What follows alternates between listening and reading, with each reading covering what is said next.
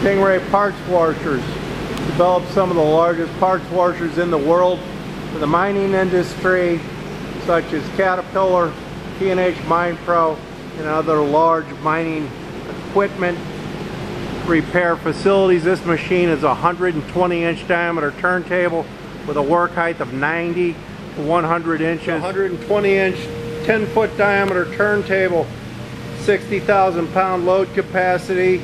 Machine has dual 70 horse pumping systems and a special shim manifold. Two machines of one, one short manifold doubles the power density increases impact pressure by 67%.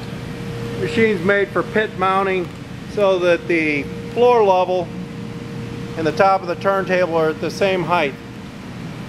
Clamshell style door allows access to over 60% of the turntable for overhead load. This is how the door closes on the clamshell 120.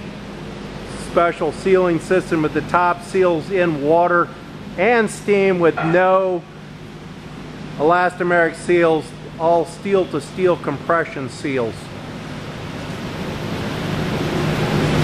Sludge scraper scrapes the entire bottom of the tank, removing sludge and other foreign objects that fall in the tank, extending solution life by two to four times.